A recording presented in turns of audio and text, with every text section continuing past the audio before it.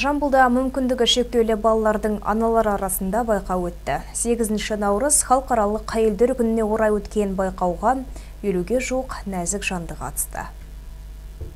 Шуақты көктемнің әр жылында өткізілетін бұл байқауға мүмкіндігі шектеулі балалардың аналары қатысып, өз өнерлерін көрсетті. Үйде бала тәрбиелеп отырған ата-аналарды сергіту мақсатында ұйымдастырылған мерекелік іс-шара түрлі шарттардан тұрады. Ән айтып, өлең оқылды. Нәзік жандылар қолдан жасаған бұйымдарын таныстырып, өнерлерін паш етті. Аталған қайырымдылық іс-шарасына мейрамхана ұжымы ат салысып, мерекелік дастархан жайды. Осы байқауды ұйымдастыруға ұйытқы болған жандарға зор алғыс білдіргім келеді дейді Нұрия Әлмұхамбетова бүгінгі мына біздің іс шарамыз мүмкіндігі шектеулі балалардың ата аналарына мына кішкентай біздің бүлдіршіндерімізге арналды.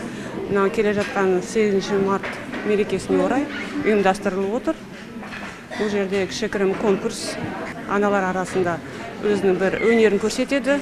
Жыл сайын біз мына бүгінгі іс шарамызға елу қызмет алушымыз ата аналармен шақырылды.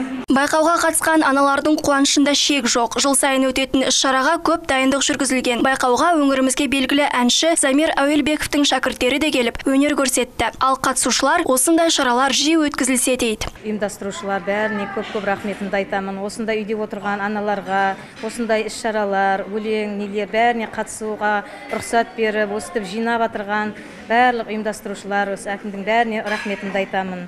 Жыл сайын ұйымдастыратын мына байқаулардың мен бірінші рет қатысып жатырмын ризамын. Шара соңында қатысушыларға демеушілер тарапынан сыйлықтар үлестірілді мүмкіндігі шектеулі балаларға және олардың ата аналарына мереке сайын көптеген байқаулар мен іс шаралар өткізіп тұрамыз дейді ұйымдастырушылар. Фарида сейілханқызы әділбек самаликов жеті жеті ньюс.